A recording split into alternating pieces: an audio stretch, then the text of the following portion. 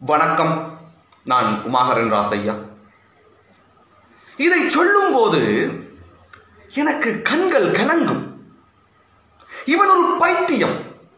இவன் ஒரு போக்கு இவன் ஒரு வதையன் என்று சக மாணவர்களால் ஏளனம் செய்யப்பட்டு ஒதுக்கி ஓரம் கட்டப்பட்ட போது அந்த குழந்தையின் மனம் எப்படி கலங்கி இருக்கும் வீட்டை கைவிட்டு இறைவனே கதை என்று நம்பி சாமியார்களின் பின் சுற்றிய பொழுது பசியால் துடித்து உணவருந்த ஒரு மடத்தினுள் நுழைந்த வேளை சாதி இனம் மொழி என்று பேசி பசிக்கு உணவிடாமல் வெளியே தூக்கி எறிந்த பொழுது அந்த இளைஞனுடைய மனம் எப்படி துடித்திருக்கும்?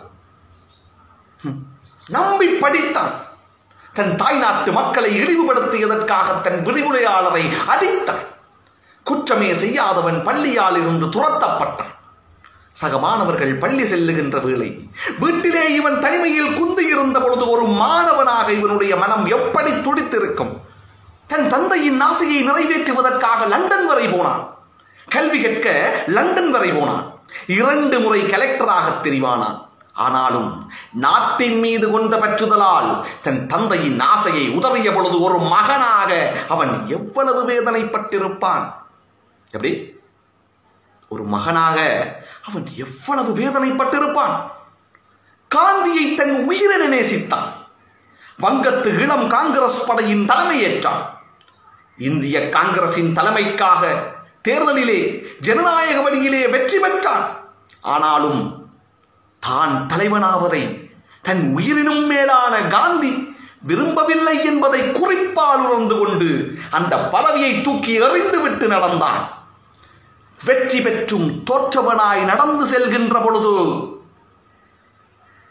ஒரு தலைவனின் மனம் எவ்வளவு வேதனைப்பட்டிருக்கும்.